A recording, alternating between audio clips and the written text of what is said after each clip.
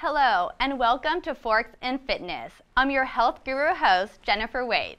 Today I'm very excited because it's March, which means spring is finally approaching. I love springtime because my favorite fruits and vegetables are in season.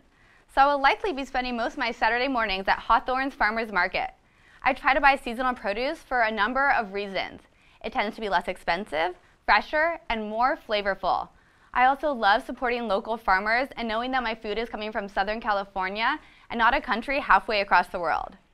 Even if you prefer to shop at the grocery store, you will still save money by purchasing seasonal produce, as grocery stores tend to stock up on fruits and vegetables that are the most readily available. You can also find great sale prices on seasonal items. So in the coming months, if you want the most bang for your buck, consider adding strawberries, spinach, broccoli, pineapple, mangoes, and even asparagus to your grocery list. Another benefit of spring is the beautiful weather, making it a great time for you and your family to start spending more time outdoors.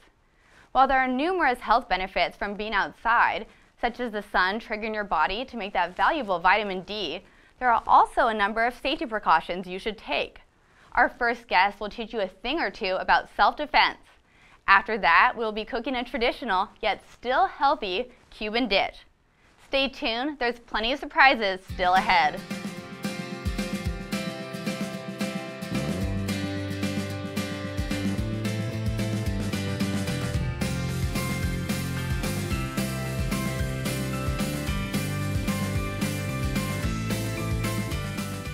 I'm thrilled to introduce our first guest, Marcus Kowal.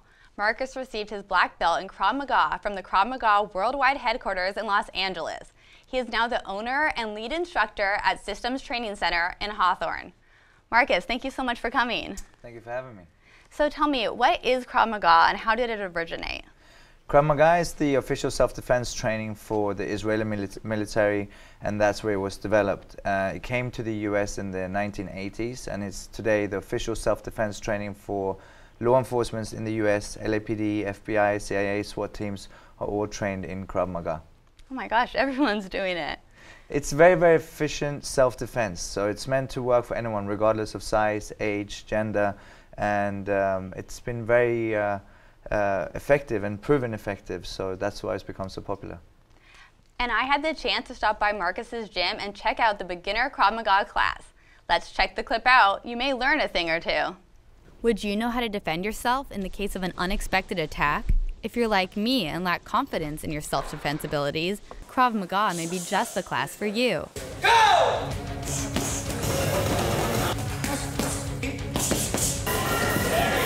Krav Maga is very realistic street self-defense. It's not a martial art per se, it's more of a system that's taken the best out of different martial arts and put it together to a system that would work for anyone, no matter of size, age, male, female. It's supposed to be for everyone. Yeah, I feel that this class is something everybody should take. Uh, as far as self-defense, they make sure that you're prepared. They put you in real life type of situations. Um, they throw things at you that you're not expecting. In his class, Kowal covers proper punching techniques and drills to quickly neutralize an opponent. Common mistake is that people shuffle their feet. That split second when your feet are together, you can't punch and you're off balance. So step one, two, then push up your front leg, move your back leg first. One, two, step back. Many adult students explain that they enrolled in Krav Maga with their children so the whole family can feel safe at all times. I had a really bad experience when I was five years old. I was raped. I didn't want my kids to, you know, to go over something that happened to me. So I know I'm not going to be always there to protect them and I really wanted them to learn something to defend themselves. In addition to gaining a confident attitude, students said they got a great workout with interval type training. When I started here, the first time I walked in, I was about 282 pounds, something like that. So right now I'm in the 240s, 239s, so about 40, 41 pounds in six months. So whether you're trying to lose weight or tone up, Krav Maga will provide you with an intense workout that could just end up saving your life. That class was a killer workout. Marcus, how did you get involved in Krav Maga? Um, the man who brought Krav Maga from um, Israel to Europe uh, was actually one of my cornermen when I when I fought. Uh, so I was introduced to it then. But then when I moved to Los Angeles, I uh, I did my master's here in LA. I, I was teaching kickboxing at Krav Maga Worldwide. Um, I was introduced to Krav Maga at a different level, and starting to, I went through all the rigorous Krav Maga courses in order to become an instructor. Each course is eight hours a day, seven days straight, and it's four different levels of that. So I started doing it, and it was something that went very well hand in hand with what I do. Obviously, fighting is a sport, but it's a lot of people that don't want to fight, but they want to learn how to defend themselves. So uh, it was something I, I became very passionate about. You do a lot of different types of fighting, right? MMA, you were telling me some of your background. Um, I've done boxing, kickboxing. Um, I've golden gloves here in the US, title boxing world championships, kickboxing, and then I got into mixed martial arts as well. And yeah, so and Brazilian Jiu Jitsu too. Wow. So why would you recommend Krav Maga to the average person over other forms of martial arts? I think all forms of martial arts are great, and I love it. Obviously, I, I, I partake in most of them myself. But um, what's good about Krav Maga is that someone who has no intentions of being a fighter and just wants to learn how to defend themselves in, in, in the streets and stand a better chance in, in case of an attack. Um, Krav Maga is very, very simple to learn. You don't have to go five, six days a week. Two to three times a week is a good average, and very quickly can you learn how to stand a better chance in case of a situation. Plus, it's a great workout at the same time. Yeah, it is. And you also often work with um, rape victims and returning vets. Can you tell me more about that? Uh, when it comes to people that have been sexually attacked, um, it's a lot of times, you know, the, the fear of of meeting strangers. Uh, obviously, most of the time it's women, women dealing with, with men.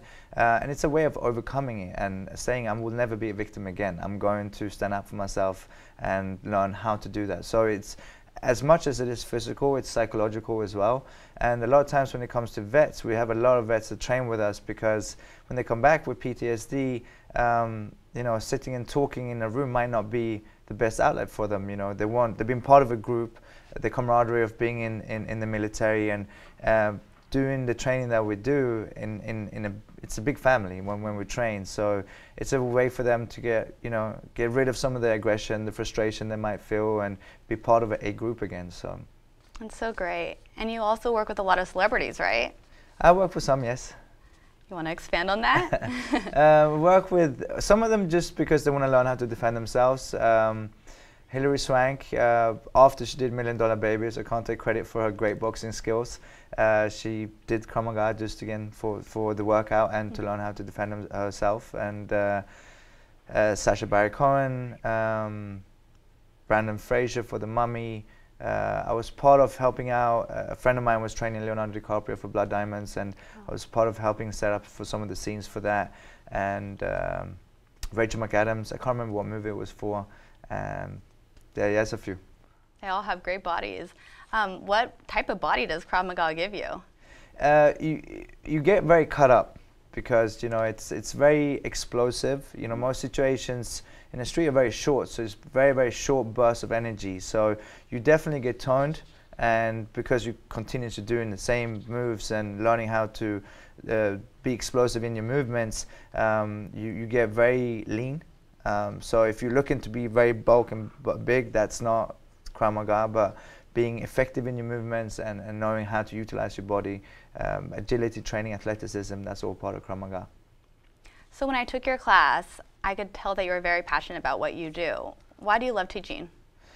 Um, it's it's funny because I, I love fighting myself, but again, you know, when it comes to people, most of the time people don't want to be fighters. But you know, when you see bullying, for example, seeing a kid going from being insecure, just the way they carry themselves, or a woman, as you mentioned, who's been sexually attacked, um, to to be able to stand up for themselves. It's just the way they carry themselves. It's, to change someone's life, to me, is that's I, I want to do this. I want to do this for the rest of my life. I don't want to do anything else. And or if it's someone who's really overweight, you know, to see someone drop 30, 40, 50, 60 pounds and get into shape. Same thing when it comes to confidence, but just the energy levels and the quality of life. To to be able to do that for someone else, it to me is it's amazing. And what other classes do you teach at um, your gym? Uh, we have CrossFit, which is uh, the most rigorous type of a workout that you can do. Uh, you're not learning self-defense per se, but you will get into tremendous shape. Uh, Krav Maga, kickboxing, boxing, Brazilian Jiu-Jitsu, mixed martial arts. We have kids classes. We have kids starting as young as, as three years old. We call them tiny tigers. Um, so we, we have yoga as well. Um, it's, it's, it's a family-oriented home. It's a, it's a home away from home uh, for the whole family to go in there. And a lot of times you have the parents taking the class while the kids are in the room next door doing their class. So we offer something for everyone. Yeah, a little bit of everything. I'm definitely going to come to your gym because I want to be million dollar million dollar baby status. So thank you so much um, for joining us, and it was, it was a pleasure to have you here. Thank you very much for having me. Great. And after the break, we have a special guest from one of Hawthorne's most popular late night eateries. Stay tuned.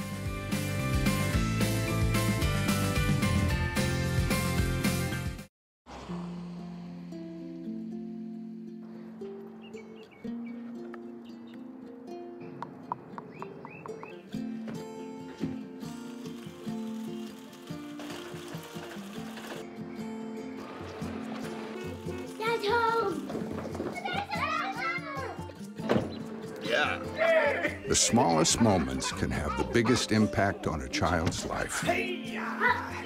Take time to be a dad today.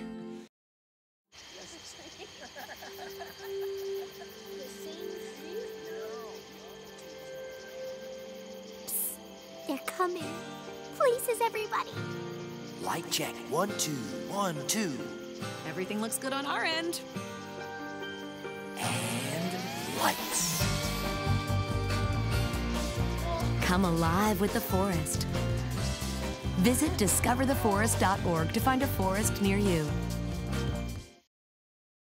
Welcome back. Our next guest is the co owner of the infamous LAX Diner, known for its international menu, late night hours, and music scene. Let's welcome to the show Rudy Escamilla, who will be preparing a mouth-watering Cuban meal. Rudy, thank you for joining us. You're more than welcome, my dear. Thank you for inviting us. So tell me, what are you going to be cooking? We're gonna be cooking today uh, chicken fricassee. It's a Cuban dish, very healthy dish. I've never had that. oh, that's fantastic. It's really good, very tasty. Is it something you prepare at your menu or at your restaurant? It's something that we have on, on the available on the menu for the restaurant. Yes. Cool, let's get started. Okay, fantastic. So the first thing that we're gonna be doing here is uh, marinating the chicken, which I have done already, but we go through the through the instructions of how you do it. Okay, how long has it been marinating for? It's been marinated for four hours. It's convenience for you to marinate it more than 20. so, so you can overnight. you can ma- overnight exactly. So what you do, you you cut the chicken in pieces, mouse size.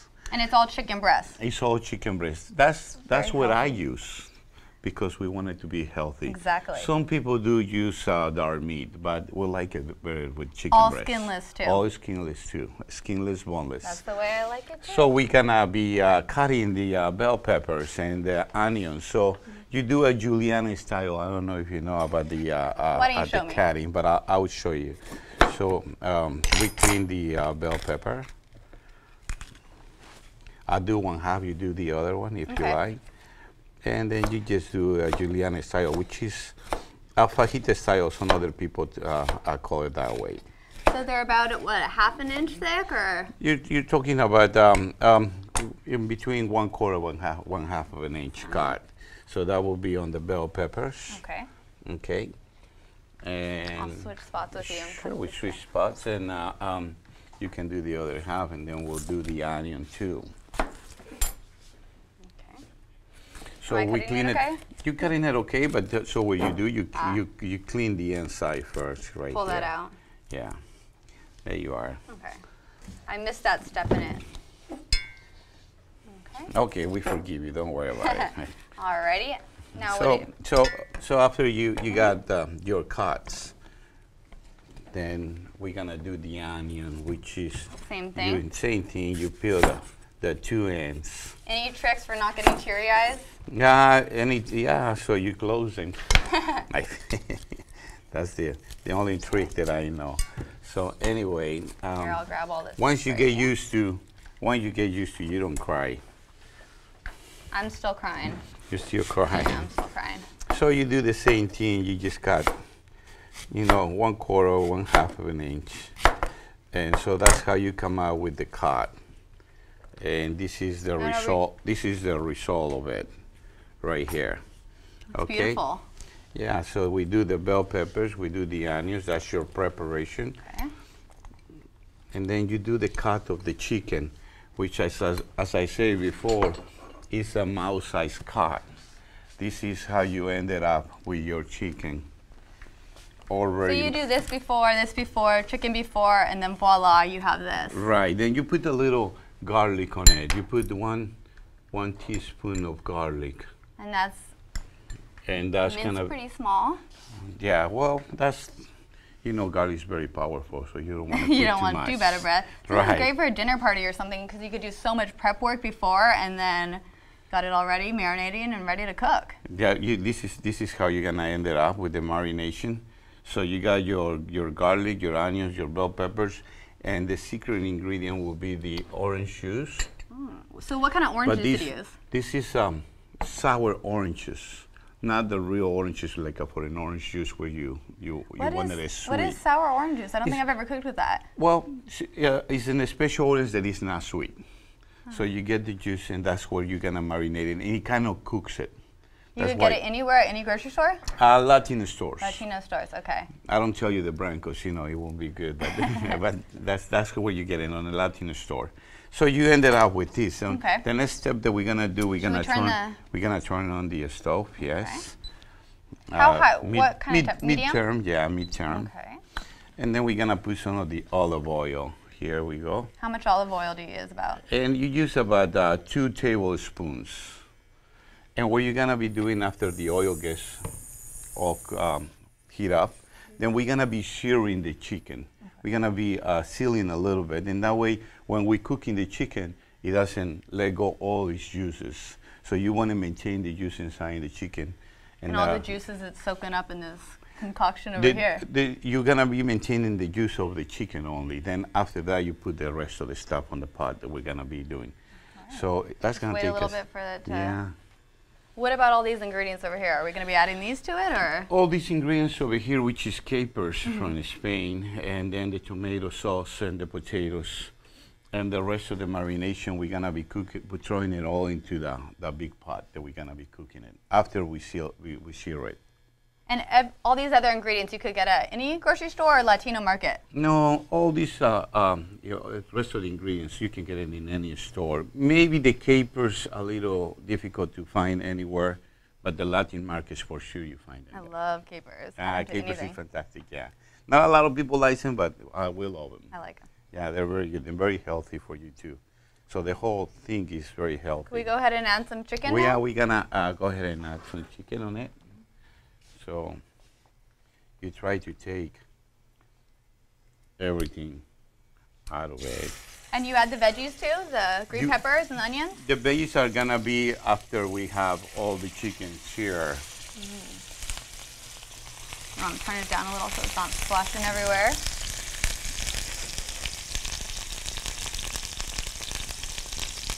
So if you weren't to marinate it, the chicken wouldn't have all the flavor. Like when it, the marinating is when it really soaks up. Right, the marination is gonna give them the flavor. So you so- can't cheat the marination if you're You running low on time. You know, you go from one side to another, you make sure that everything is gonna be seared. About does chicken take to cook? Um, it's gonna take about 30 minutes, the whole deal. Okay. Um, but what we're gonna be doing right now, we're just gonna be searing it, and then after that, we throw everything the onto the, final. pot. So that's the way Okay, it's so gonna be be looking. cooking. This is- the way it's gonna be looking is uh, uh, white all around. That you add any sure- salt and pepper or anything to not any yet, seasoning? not Okay. yet, not yet. We're gonna throw that into the pot, into the main pot. Easy So, enough. yeah. So that's that's what we do here, and then we're gonna use our our next pot, which is right here. what do you need? Oh, One more pot here. you want me to right here? You wanna? Uh, I think we're gonna move this one here, and we're gonna put this one over here. And what are we gonna be cooking in this? We're gonna be cooking the, the chicken fricassee Okay. there. Okay? I'll put it on medium or high. Uh, medium is fine. Medium is fine. I don't know how much time do we have left, but We you gotta start cooking. Here we gotta start cooking. Yeah. Okay, so here So let's we go. start making the sauce. How about that? Okay, so this is what we're gonna be doing now. So after you get your chicken already white like this, Mhm. you're gonna throw it into the next pot, Okay. and then and then you're gonna be throwing the rest of the stuff which And- is your bell peppers and your onions on it the juice So the olive oil is just to cook the chicken, and then this is when we're, we're gonna mix all the other ingredients and Right, make right. the sauce. Right, right, right. Then we're gonna put our tomato sauce on it right now. Some water. All right, I'll grab some tomato sauce. So what's the history behind this recipe? Is it a family tradition? Well, it, um, uh, fricassee, uh, chicken fricassee was made in France, and then it was adopted by the by the Cuban people, from the people coming from Spain. Hmm. So, but once you taste it, you're gonna love it. It doesn't matter where it comes from. Smells You're good really so far. Can I add the tomato sauce now? Yeah, you can add tomato. I Yeah, dump it in or all you- of it? Yeah, for that amount, we're gonna throw like a couple of those. I love my tomatoes, I was about to just dump it all in. Here we go. That's it. Then we're gonna add the same amount of um, same amount of of water on it. And is this a low sodium salt or anything specific to look for, or just regular tomato paste or tomato sauce? Regular regular tomato sauce, sauce uh, no salt, no pepper. We're gonna add the salt and pepper ourselves. How much water do you Which need? is we're gonna put the same amount of water. Let me give you one of the containers I'm that we have. just have gonna add a little water to it. Ah, go ahead, yeah. Kind of A little it. more, a little more, yeah. So this a little more. So we did. It's gonna be the same. So to make it thing. more of a soup. It's gonna be the same the same amount of tomato and the same amount of water. It's gonna be some some, some type of a, like a, a stew. So we're gonna do uh, one teaspoon of Okay. salt for that amount, and one half of the pepper. So when do you prepare this recipe? What's the appropriate occasion? Any night? Is it special? Well, it's a it's a daily it's a daily dish. You know, it's not for special. You can eat it every day. We eat it every day. So here we go. And what are these put the capers soaked in? Just what they came with naturally? Yeah, it's uh, uh, their own their own water, on their own juice. So we're gonna let it cook for about 20 minutes, and then at the very end, we're gonna uh, add the uh, wine Chardonnay, The best part. the best part of it. Okay. What's really gonna give them a taste. So here we go. We're gonna. Is this drinking wine or special cooking wine? This is uh, um, uh, the dry Chardonnay drinking wine. Um, We should be drinking Cooking. a glass of it right now while yeah, you're totally right. Let's do it. Maybe after. there you are. So that's our a little bit. right. So let's warm. We're gonna have our, our Looks delicious. So, is this a recipe that you could kind of multitask and be cleaning the house while you're cooking, or you really got to watch it?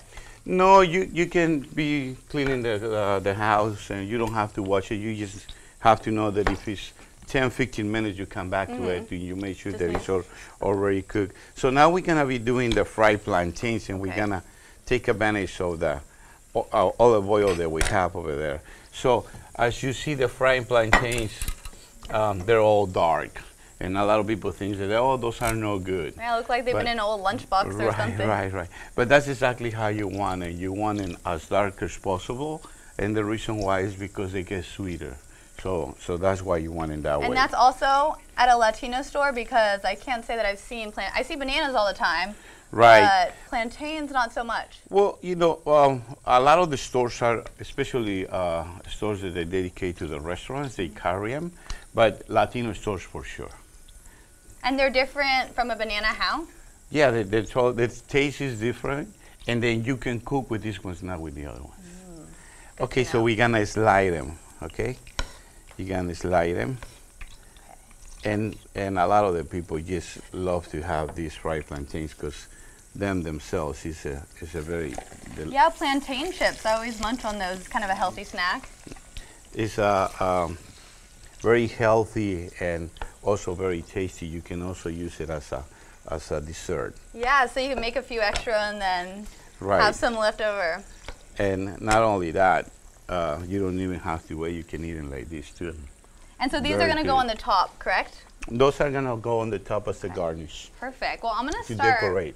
plating, Ah, beautiful. plating Let's, the dish, let's just and do then that. while the plantains are cooking, then we could add it to the top and try this thing out because I am getting hungry. Looking Oh, this. beautiful. Let's do it. All right, so show me, show me how this Okay, goes. so as you see, the the chicken fricassee is starting to cook already. But we're gonna we're gonna serve the rice. Okay. We're gonna serve the rice. Let me use one of Oh, you want to use? I use one of these Ah. little things to uh, give it a, give it a shape. And you could also use brown rice, right? If you're Of trying course, to get that definitely. Sure, sure, sure, sure, sure. You can go and be. Oh, they're gonna a little crazy. Gotta be careful. You Are don't want those Are they exploring on? Let let me uh, turn it around. Here we go. All right. So you got the rice, and then should I serve up the beans? Is that going to the side? Right on the side. That's right. I'm gonna squeeze behind you. Excuse Okay, me. sure. Okay. So we got our beans. More fiber in there too. One one side, one side of beans. And black beans are so healthy too. I love them. Right. Okay. And then you Oh, I see. You make a little rice house. right exactly a little. mhm, Okay. A little mountain, a little All volcano. right. And then I need. I'm missing this. Right. You then you put that on the side. Okay. Let me. Um, So I put it on top of the rice or on the side? no, you put it right on the side. So what you put on top of the rice is the black beans. Cuban people love to mix the white rice and the All black right. beans. And do I? And then I then- normally I'd put the plantains on top, but I'm gonna take a bite because I can't wait for them now. It just looks so good. Ah, beautiful. There you are. Superb. Ah. I love it. I've never really had Cuban food. It's great. Oh, really? Ah, great. Thank you so much for oh, cooking this for welcome, me and showing dear. us this recipe. And thanks for watching Forks and Fitness. We hope you learned a few new healthy tips. If you'd like to be a guest on the show, please call 310 349 1630. We'll see you next time.